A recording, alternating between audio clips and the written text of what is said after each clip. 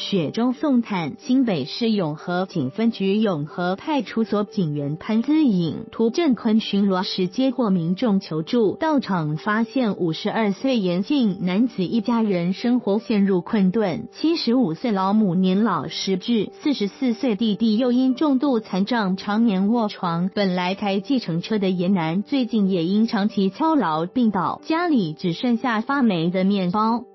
警方说，严男十月被诊断罹患狭心症等病，导致职业驾照被取消，无法再赚取生活费供母弟使用，积蓄也在近日用光，生活陷入困顿，几乎断炊。永和所所长翁启源得知后，今天立即请员警送接应急民生用品、猪肉、白米及蔬菜，并寻求地方公益团体及警友站提供协助。